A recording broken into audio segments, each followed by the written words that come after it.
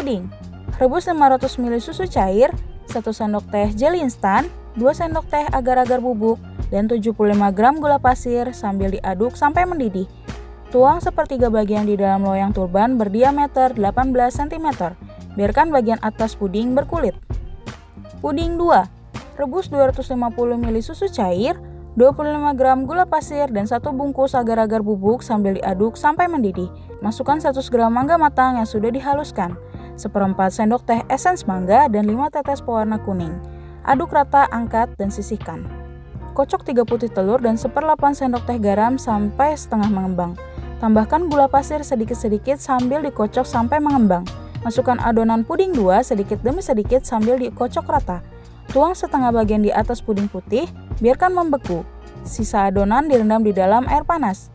Rebus sepertiga bagian adonan putih, tuang di atas puding busa yang sudah membeku. Tuang sisa adonan mangga, biarkan membeku. Rebus kembali sisa adonan putih, tuang di atas adonan mangga. Kemudian biarkan membeku.